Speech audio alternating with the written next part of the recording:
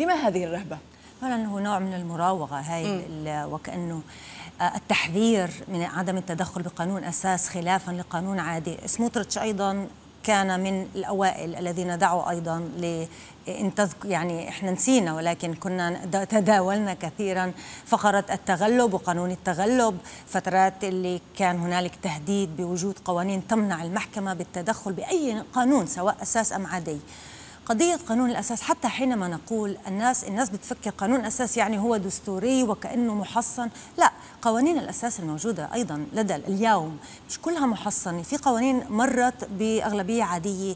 يعني نرمز إليها بقانون أساس وكأن من أسس الدستور غير الموجود في م. إسرائيل. وعلى أساسها المفروض أن تضع قيم أو مبادئ أو معايير اللي هي ثابتة أن تضمن لها الديمومة. هذا الفرق يعني. وكأنه أنت ما بتقدري تغيريها بأغلبية عادية ويجب أغلبية خاصة بالمفهوم ولكن على أرض الواقع هنالك قوانين اللي نستطيع تغييرها بأغلبية عادية يعني مش الآن فلذلك استخدام سموتريتش لموضوع قانون أساس هو أولا لأنه حتى الآن لم يتم ولكن المحكمة سمحت لنفسها أعطت نفسها الصلاحية في أن تتدخل بقوانين أساس من ناحية الاعتراف في قرارين للمحكمة العليا اللي فيهن أقر أن المحكمة العليا لديها الصلاحية في التدخل حتى في قوانين أساس إلا, أنها حتى الآن لم تتدخل.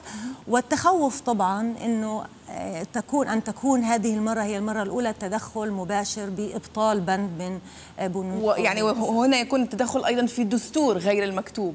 تعال نقول في إسرائيل. يتعلق كيف بدك تعرفي الدستور؟ يعني مم. حتى الآن حينما تم دسترة المعايير استنادا لقانونين أساس قانون أساس حرية الفرد وكرامته وقانون أساس حرية العمل وكان هناك كانت المعايير والحريات عاده الدستور بالأساس غير إنه بضع أسس النظام.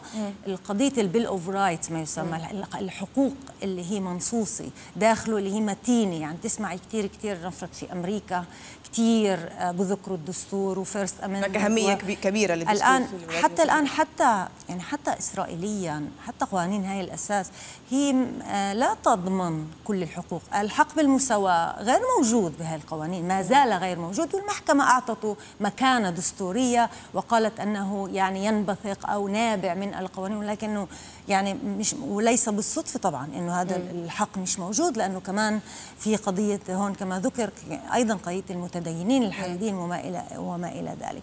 لذلك أنا أعتقد إنه التخوف من التدخل وخاصة أننا نتحدث عن بند اللي يمنع المحكمة العليا من التدخل في قضية حتى قرار ليفين بعدم يعني جمع أو عدم استصدار قرار لجمع لجنة تعيين القضاه لأنه القانون ينص إنه إذا في وزير امتنع عن استخدام صلاحيته عندها أيضا. المحكمة لا تستطيع التدخل وهو اليوم هذا الأمر مطروح بالتماس آخر أمام المحكمة العليا.